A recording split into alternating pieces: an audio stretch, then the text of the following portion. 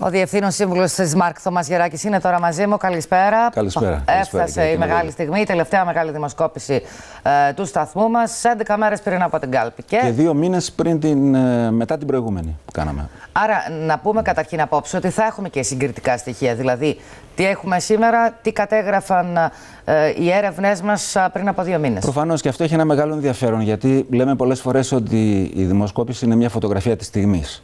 Πόσο μάλλον αν έχεις δύο φωτογραφίες. Αυτός σου επιτρέπει να, βλέ- να έχεις την τάση των, ε, και το, τη, τη ροή των πραγμάτων. Ενισχυτικό στοιχείο λοιπόν της τάσης που Υπ' επικρατεί. αυτή την έννοια λοιπόν στο είναι πολύ εκλογικό σημαντικό. σώμα. Ναι. Ναι. Και η αλήθεια είναι ότι έχουμε διαφοροποιήσεις, εκπλήξεις όπως ε, είπατε στη σχέση με την προηγούμενη φορά και νομίζω ότι είναι μια δημοσκόπηση η οποία θα συζητηθεί, έχει μεγάλο ενδιαφέρον. Άρα έχουμε ανατροπές. Έχουμε ανατροπές, έχουμε ανατροπές. Και αυτό, είναι, εκπλήξεις. αυτό είναι αλήθεια και έχουμε και εκπλήξεις, αυτό μπορούμε να το υποσχεθούμε από τώρα.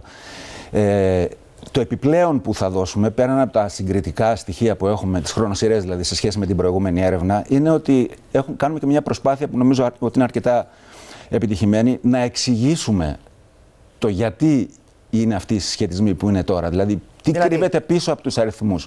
Ποιες είναι οι αιτίες που διαμορφώνουν αυτό το σκηνικό αυτή τη στιγμή, λίγες μέρες πριν τις εκλογές. Άρα κάνουμε και μια ανάλυση που θα είναι ένα έξτρα εργαλείο, αν θέλετε, για τα Προφανώς. επιτελεία μέσα σε αυτό το διάστημα Έχουμε που ποιοτικές απομένει. Ναι. ερωτήσεις, ερωτήσεις που αφορούν την εικόνα των υποψηφίων και ως προς τα ηγετικά τους χαρακτηριστικά και ως προς την κοινωνική τους ευαισθησία, ως προς την αποτελεσματικότητα να λύσουν τα προβλήματα. Χωρίς να θέλω να αποκαλύψουμε τώρα περισσότερα, το ραντεβού είναι για τις 11 α, απόψε.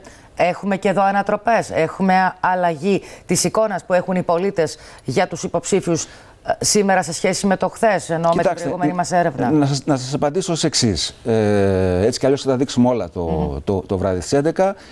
Η σειρά των υποψηφίων δεν είναι ίδια με αυτή που ήταν στην προηγούμενη δημοσκόπηση.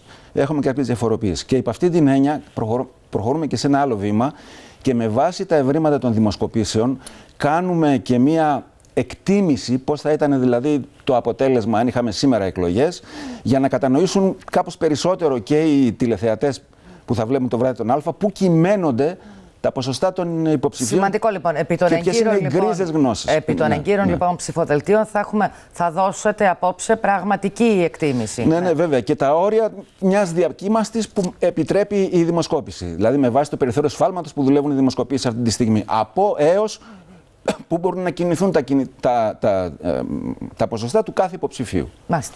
Ε, ενδιαφέροντα λοιπόν ε, στοιχεία.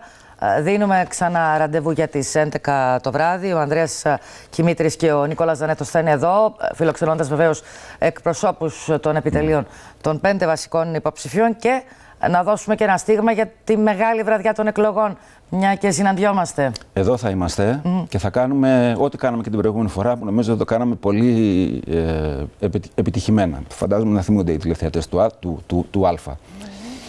Ένα πράγμα θέλω να πω για, για σήμερα το βράδυ πάλι, ότι επειδή όλοι, ο- οποιαδήποτε δημοσκόπηση και να πάρεις, υπάρχει ένα γκρίζο τοπίο μεταξύ του δεύτερου και του τρίτου, της δεύτερης και της τρίτης θέσης.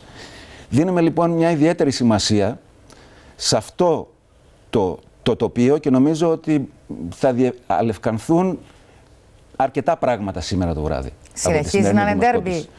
Θα το δούμε, θα το δούμε το βράδυ. Λοιπόν, ευχαριστώ θερμά.